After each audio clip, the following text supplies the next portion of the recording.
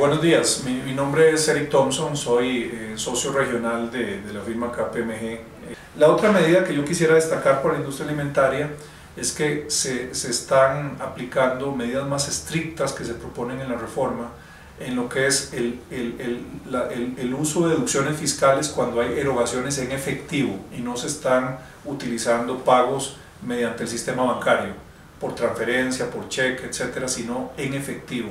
La industria alimentaria tiene muchos insumos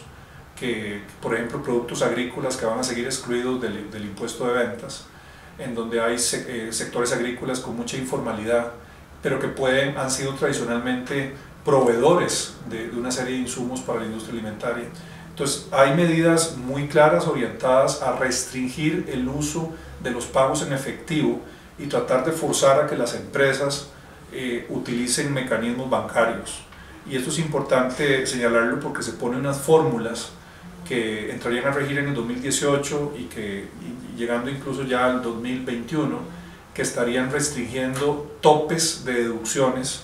eh, cuando, tienen que, cuando lo que está haciendo la empresa es pagando en efectivo. Esto es una señal importante para inducir a las empresas una mayor formalidad en su cadena de suplidores, en su cadena de proveedores, y eso puede ser relevante en la industria alimentaria.